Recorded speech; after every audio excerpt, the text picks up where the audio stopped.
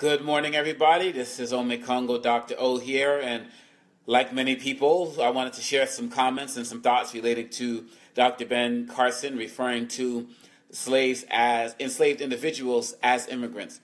The fact of the matter is, we can go on and on uh, about this, and many people calling him a sellout, and, and Uncle Tom uh, not really knowing the history as relates to Uncle Tom, knowing that he actually was uh, killed because he chose not to, as we say, snitch on slaves. But that's a story for another day. Really, let's talk about Ben Carson as it relates to the overall representation of the Trump administration continually undermining the black experience.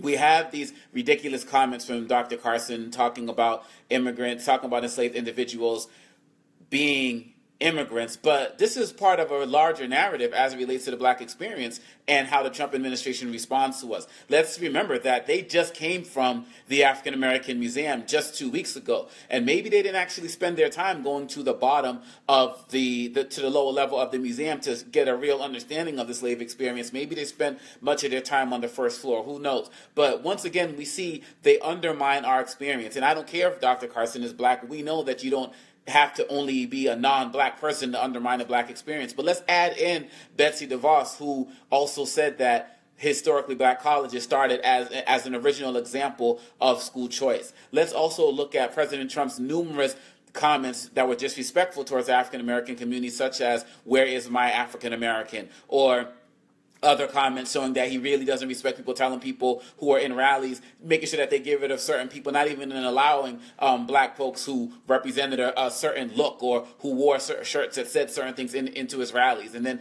encouraging people to knock the crap out of them. And of course, we can go back to his history of discrimination, discriminatory lawsuits uh, with that came that were brought to him from the federal government. So Ben Carson is just the latest example of a, a, presidency that is intent on undermining our experience. Let's take it even further. Dr. Ben Carson, who now is the head of HUD, which he has no right to occupy, also talked about his his his his issues with being poor, saying that he wished that he was he, he he thought that he was born into a different family. He said that poverty is a choice. So when we look at the further policy implications of, of what he's going to be doing at HUD, we should even be uh, more scared. But the fact of the matter is, Dr. Ben Carson, Betsy DeVos, Donald Trump, and and others within their staff have no real respect for the black experience. And this is just the latest example of what will be many examples. And if you don't know what it's like to have your whole experience undermined by those in power, by presidents and other people, you should really try to step into other people's shoes. I know many people who are in the Jewish community,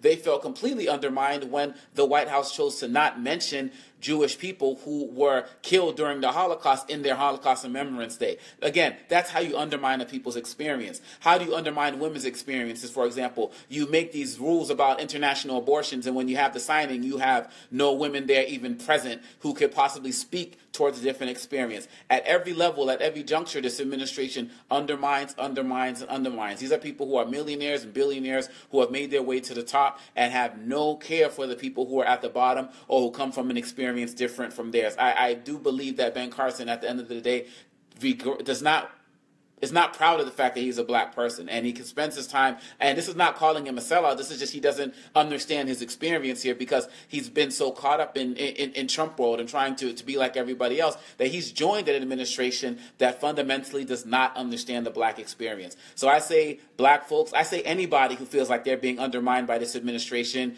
saddle up because at the end of the day we have to continue to fight. We have to continue to make sure that our experiences are understood make sure that we're proving that our experiences will always be heard never disrespected always validated. We need to prove it with our dollars. We need to prove it with our votes and we need to prove it with our voices. If they don't understand, we need to make them understand because at the end of the day, we've been disrespected and marginalized way too much. And it really doesn't matter what the race is. All of those apologists out there for, for Ben Carson talking about he made a mistake. And this is nonsense, guys. When are we going to start raising people to a higher bar? When are we going to start expecting people who have these PhDs and this higher education and who run for these offices or been nominated to these prestigious positions to actually think?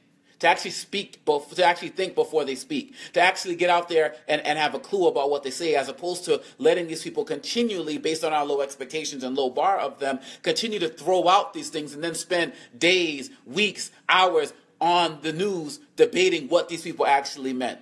I once heard somebody say that I'm so distracted by what you're doing that I can't pay any attention to what you're actually saying. We need to look at people for their actions. We need to look at people for what they're saying. And we can't go into this process of continually justifying things, continually trying to explain ignorance away. As Dr. King said, the two most dangerous things in this world are sincere ignorance and conscientious stupidity. Yes, we have some people who don't really know about particular things and we can't blame folks for being ignorant on something. We're all ignorant, but too many people in this administration have dem- demonstrated a conscientious stupidity, meaning that they intentionally don't care. They intentionally feel like they can disrespect and they intentionally feel that they can mislead people towards these negative perceptions of particular groups. And yes, the slave example is just the latest example, but this campaign was built on it and this administration continues to do it. So the real question at the end of the day is what are you going to do? What are you going to do to speak up and make sure that your experiences are being acknowledged? What are you going to do to make sure that people aren't disrespecting who you are? What are you going to do to make sure that this Department of Education is respecting your history and your culture in these schools? What are you going to do to make sure that HUD is going to be an organization that respects the rights of all people, particularly those who are in the most need of this most important thing that we call housing, as he goes into an organization that he's probably most likely going to undermine just on the sheer weight of his ignorance of the field on its own. We need to get up, we need to wake up, and we need to call out ignorance wherever it comes from Democrat, Republican, independent, because it really doesn't matter. At the end of the day, if people choose to undermine our experience, that's their choice. But if we continue to let them, then shame on us. Peace.